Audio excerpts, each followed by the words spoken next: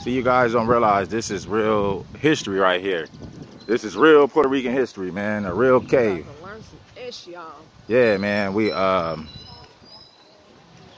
you know, look at that.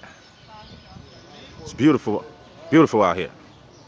Told you guys we was gonna take you on the tour, man. Start showing you, showing y'all some things, man. We're not gonna just talk behind avatars. We're gonna travel and show y'all stuff. See this right here? This. So you'll look up, you see those beehives. Those are beehives. Oh, those are beehives up there. Beehives.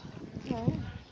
That's fine. Look at them. Okay. See, these caves, like I said, this was a place where they had to come for hiding, for refuge, for uh, peace. For peace over here, yeah.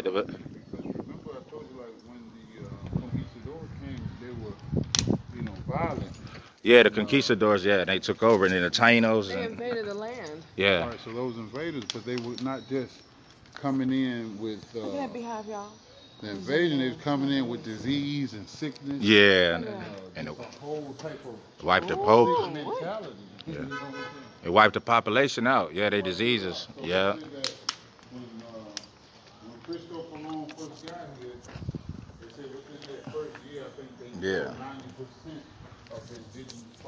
Got yeah, ninety percent of the indigenous population got wiped out because they brought a lot. It brought a lot of diseases here too. I Not know. disease, it was disease, it was Yeah. brutality. Brutality. It was uh, Yeah, uh, stupidity, you know what I mean? And white aggression.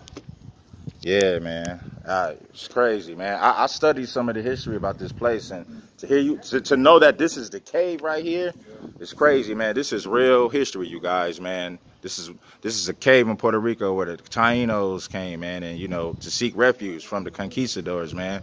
This is history.